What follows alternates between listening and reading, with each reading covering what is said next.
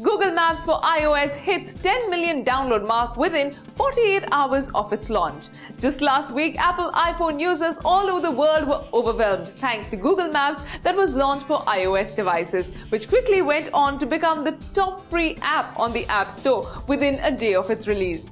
Ever since Apple's latest operating system was released, the iOS 6, things for the tech giant went spiraling downwards. Not because of the software at large, but mainly due to Apple's decision to replace the Google Maps app with Apple's own data and services as part of iOS 6 that wasn't ready or polished for a debut, in accordance to Apple customers' expectations. The users were left frustrated since Apple Maps was proving to be highly unreliable.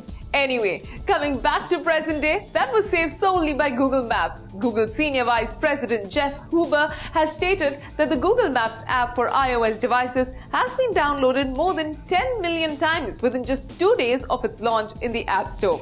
Huber confirmed the news via a post on Google+. On the other hand, Apple ruthlessly continues to work on its own inbuilt software for navigation. But till that happens, we reckon you download the Google Maps for iOS or risk getting lost.